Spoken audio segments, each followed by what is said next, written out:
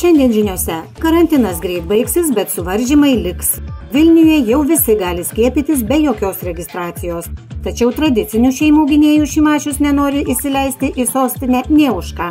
Neskiepytiems kariams bus apribotos tarnybos galimybės.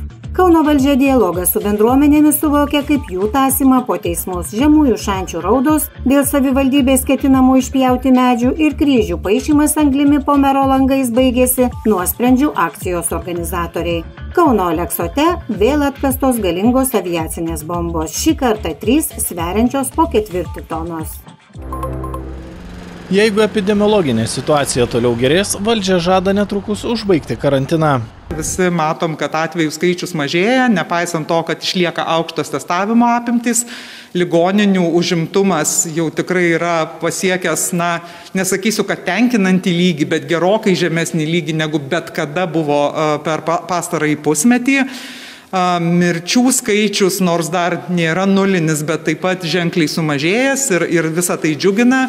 Žmonių aktyvumas skiepijantis praėjusią savaitę irgi yra tas veiksnys, kuris labai džiugina, tai jeigu visi šie veiksniai ir toliau vienas kitą stiprins, tai aš norėčiau tikėtis, kad kad e, galima bus e, gyventi ir be formalaus žodžio karantinas. Tai aš manau, kad e, apie kažkokius verslo suvaržymus tikrai ne, neturėtumėm šią vasarą kalbėti. Kaip ir minėjo premjerė, Jeigu viskas taip judės, kaip dabar juda, tikėkime, kad birželis bus, bus paskutinis tas mėno, kada turėsime tą oficialų žodį karantinas. Tačiau tam tikri apribojimai ir toliau išliks. Jie gali būti ir tik lokalūs.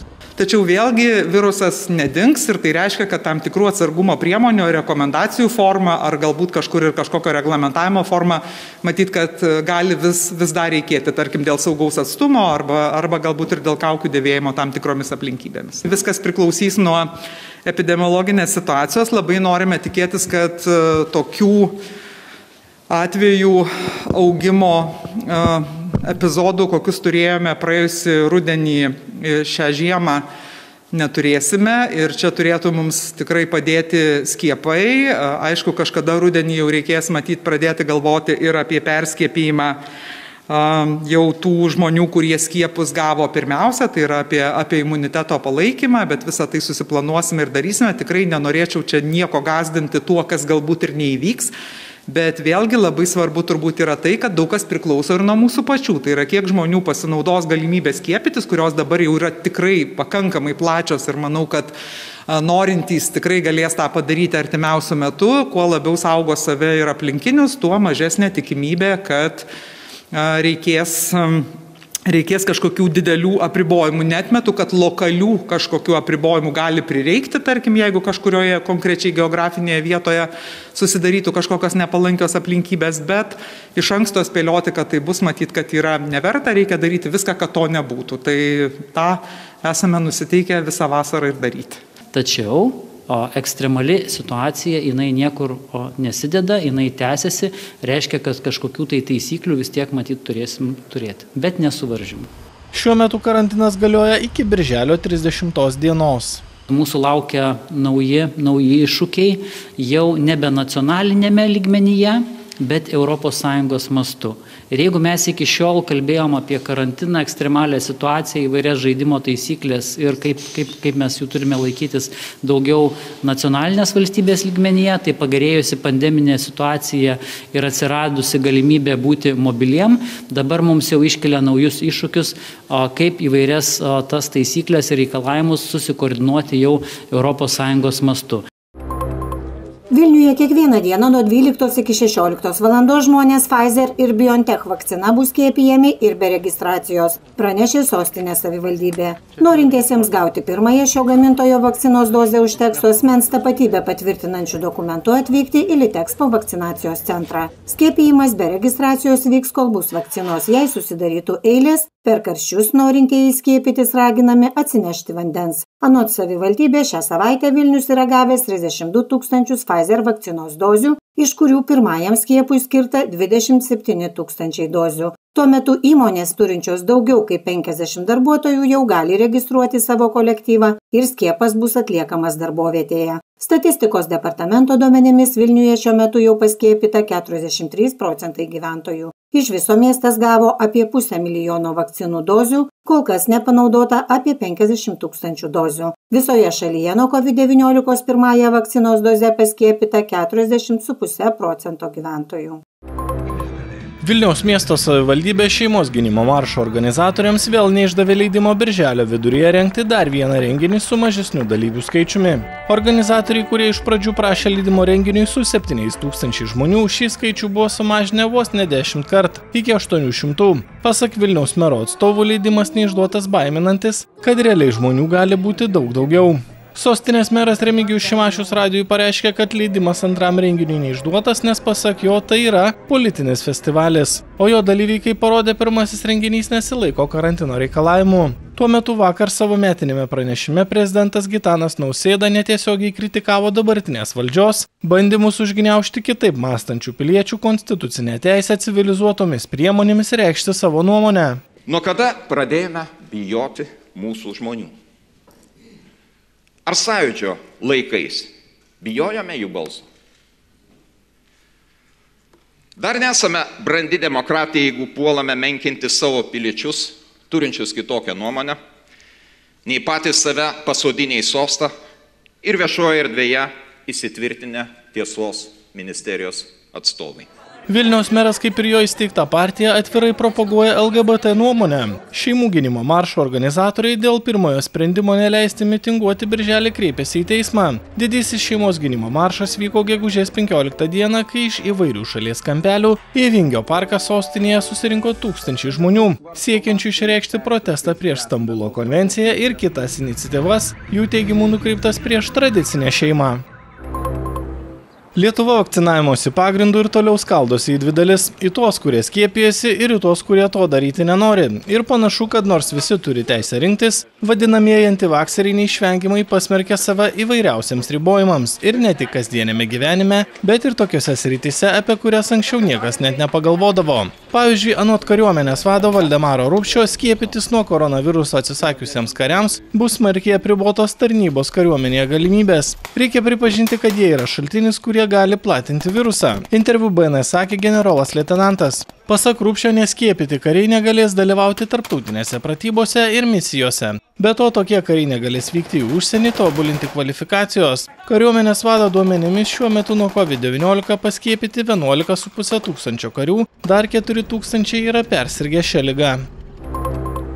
Dar kartą apie mūsųse gerokai iškrypusi teisingumą, kuris gina ne visuomenę, o valdžią ir valdžią, kuri tarnauja ne piliečiams, o pati savo arba kitaip Kauno valdžios bendravimo su visuomenė ypatumai. Po nesiliaujančių protestų priversta bent jau apsimesti nevasiekia bendradarbiauti, iš tiesų Kauno savivaldybė tęsia kabutėse dialogą su žemųjų šančių bendruomenė teismuose. Kai didįjį penktadienį žemųjų šančių bendruomenė priešais meriją pripaišė kryžių, taip siekdama atkreipti dėmesį į savivaldybės brukamos Nemuno krantinės gatvės padarinius, planuojamus iškirsti 163 Nemuno pakrantės medžius, pasikalbėti su taikiais protestuotojais niekas neišėjo. Piliečių pastangos atkreipti dėmesį į jiems rūpinčią problemą atrodė it balsas tyruose, nes savivaldybė atrodė kaip išmirusi it koks krematoriumas, kuriame darbo diena nėra negyvos dušios. Tačiau kaip toj dainoj, pikti kenkėjai būdi tundroj, užsibarikadavę pastato viduje, savivaldybės vadovai vis dėlto atidžiai stebėjo taikę akciją per langus nes vos jai pasibaigus išlindo laukan. Panašu tik tam kad nurodinėtų savo pačių iškviestiems pareigūnams kokius pažeidimus reikėtų pripaišyti protestuotojams.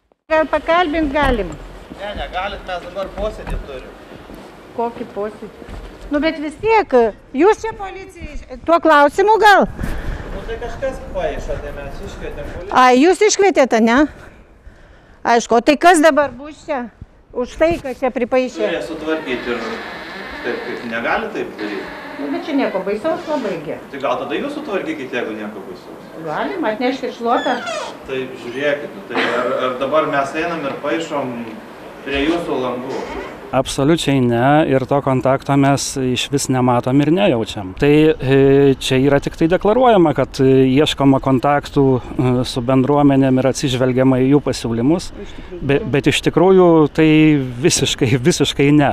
Yra vienareikšmis buldozerio ėjimas ir stumimas šito projekto. Savivaldybė išsikvietė ne tik policiją, bet ir komunalininkus, kad atvairavę ant naujojo grindinio sunkia svorį transportą kuo greičiau nuplautų natūraliomis anglės kraidelėmis nupieštus kryžius. Piešiniai nepadarė jokios žalos nei gamtai, nei praeiviams, gal nebent trumpam privertė miesto vadovus ir jų parankinius savame mieste pasijusti kaip kapinėse. Įdomiausia, kad atvirai miesto valdžios spaudžiami net ir pareigūnai tą kartą nepasidavė, nes atsisakė dėl žemųjų šančių bendruomenės didžiojo penktadienio raudos akcijos pradėti iki teisminį tyrimą. Kauno savivaldybei tai nepatiko, šį nutarimą iškart apskundė ir prokuroras kartu su teisėju galiausiai savivaldybę patenkino. Nuosprendis protesto organizatorė nusižengė Kauno miesto švaros ir tvarkos taisyklėms, nes įvykdė valdžios ir teisės saugos manimų baisų nusikaltimą. Ant gatvės dangos paaišė spalvotomis skraidelėmis, kryžius ir įvairius užrašus. Įdomu, kada Kauno teisės saugininkai dėl žalos miestui ir gamtai nuteis kokį valdininką ar miesto vadovą. O juk jie kreidelėmis gatvių nepaišo, dažniausiai iškart rėžia pjūklais ir buldozeriais. Apie beviltiškai valdžiai pataikaujančią ir seniai gėdos jausmą praradusią teisėsaugą pokalbis su žinomu Kauno advokatu visuomenininku Sauliumi Dambrausku ir šios savaitės laidoje Juokas pro ašaras su Gintautu Labanausku.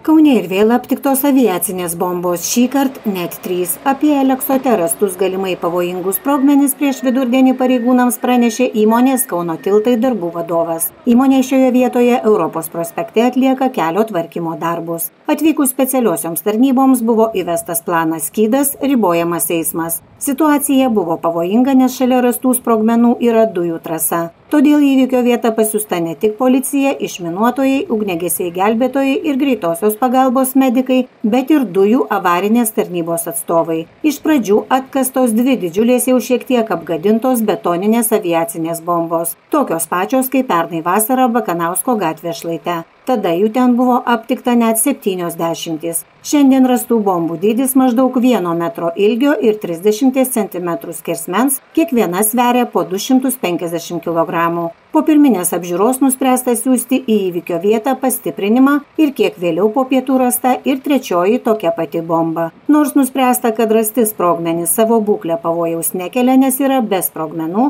dar giliau po jomis gali būti ir daugiau panašių ir galimai pavojingesnių sprogmenų. Tokia prielaida daryta remiantis pernykščių radinių Aleksote patirtimi, kai kurie jų buvo su sprogmenimis. Visos trys bombos išvežtos į Rokų poligoną ir sunaikintos. Antrojo pasaulinio karo laikų sprogmenys Aleksote randami nuolat. Kai kurios bombos milžiniškos ir tikrai pavojingos.